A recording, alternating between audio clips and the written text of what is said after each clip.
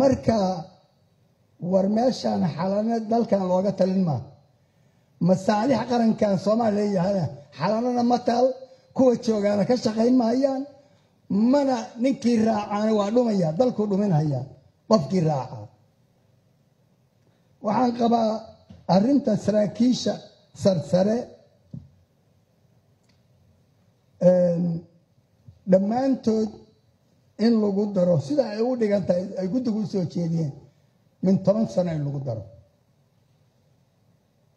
Waxa weeye markaan saas idhaahdo waxbaa caymanaya kuwa hadda joogaa qaar ka caymanaya. Midda kale derajada haddii aad taqaaniin laguma bixiyo saaxiibiya waxaad arkaysaa nin suuq laga soo qabta caawa janaan maxaa kaas xaggee loo raaca? Hadhow see la yeela. Weli ma jirto wax maaragtay dadkii lagu kala reebi karo ama lagu kala saari karo ma jiraan.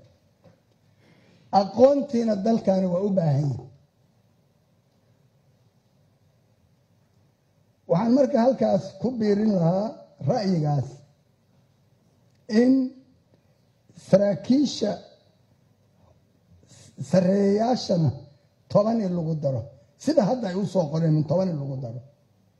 Waayo bal ninka ilaah idinku dhaarshay waxaa leeyi nin gaashaanlah yaa leeyi lixdan sano ha lagu magaciisay. Waaba kow. Waa marka uu cabacity uu laba tababar qaatay. Akademigu ka soo baxay. Tababar buu aaday. Mid kaluu qaatay. Shantii sano lixdii sana mar inuu galo. Ka bacdi maxay tahay? Waa ninkii saacaddii qaranka u baxsan lahaa. Ninka mijirka waa saacaddii qaranka u baxsan lahaa. Marka waxaan odhan lahaa kuwaas dhinacan waxaan odhan lahaa saraakiisha hoose waxaan odhan lahaa dhammaantood iyadoon la kala saarin min lixdan in laga dhigo. Qofka lixdanka ahi maaragtay waa waxaan is leeyahay dadku lixdan jir waa meesha xooggii iyo muxuu ahaa hoggaamintii waa meesha ugu fiicnayd weeye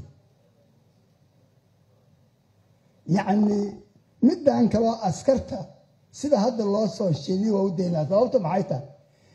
Nin saraakiisha iyo askartu maxay ku kala duwan yihiin? Waxay ku kala duwan yihiin qofna inuu madaxa ka shaqeeyaa la rabaa askartana waxaa la rabaa physically jirkooda iyo xooggiisa.